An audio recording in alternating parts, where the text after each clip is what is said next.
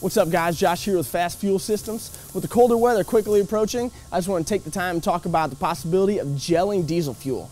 Diesel fuel can gel when the paraffin generally found in the fuel begins to solidify.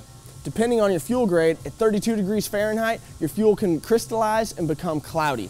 At 10 to 15 degrees Fahrenheit, your fuel can begin to solidify and clog your fuel system. One thing you can do to prevent this is add our electric heaters to your FASS system. Our FASS Titanium Series fuel pumps are equipped with two electric heater ports.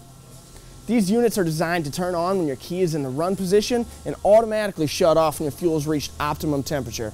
This will prevent fuel from gelling inside your fuel system. If you guys have any more questions or comments, leave them below. We'll see you next time.